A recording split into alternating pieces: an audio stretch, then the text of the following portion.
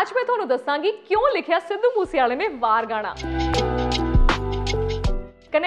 ਤੁਸੀਂ ਦੇਖ ਰਹੇ ਹੋ, ਮੇਰਾ ਨਾਮ ਹੈ ਪ੍ਰੀਤ ਅਟਵਾਲ। ਹਰ ਬੰਦਾ ਇਹੀ ਸੋਚਦਾ ਹੈ ਕਿ ਯਾਰ ਸਾਨੂੰ ਕਿਸੇ ਤਰੀਕੇ ਨਾਲ ਸਿੱਧੂ ਦੇ ਅਨਰਿਲੀਜ਼ਡ ਗਾਣੇ ਜਿਹੜੇ ਆ ਨਾ, ਉਹ ਸੁਣਨ ਨੂੰ ਮਿਲ ਜਾਣ। ਤੇ ਉਹਨਾਂ ਦੀ ਡੈਥ ਤੋਂ ਬਾਅਦ ਸੈਕਿੰਡ ਗਾਣਾ ਰਿਲੀਜ਼ ਹੋਇਆ ਹੈ, ਵਾਰ।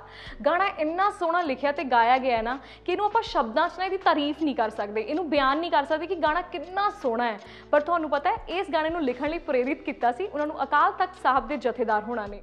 ਉਹਨਾਂ ਨੇ ਕਿਹਾ ਸੀ, ਸਿੱਧੂ, ਤੁਸੀਂ ਇੰਨਾ ਸੋਹਣਾ ਲਿਖਦੇ ਹੋ, ਤੁਹਾਨੂੰ ਪੰਜਾਬ ਦੇ ਮਹਾਨ ਯੋਧਿਆਂ ਤੇ ਸੂਰਬੀਰਾਂ ਬਾਰੇ ਵੀ ਗਾਉਣਾ ਚਾਹੀਦਾ ਹੈ। ਬਸ ਉਸ ਤੋਂ ਬਾਅਦ ਉਹਨਾਂ ਨੇ ਇਹ ਗਾਣਾ ਲਿਖਿਆ ਰਿਕਾਰਡ ਕੀਤਾ। ਬਟ ਮੈਨੂੰ ਇਹ ਵੀ ਸੁਣਨ ਚ ਆਇਆ ਕਿ ਉਹਨਾਂ ਨੇ ਇਸ ਗਾਣੇ ਦੇ ਸ਼ੂਟ ਲਈ ਸਪੈਸ਼ਲੀ ਪਾਕਿਸਤਾਨ ਵੀ ਜਾਣਾ ਸੀ।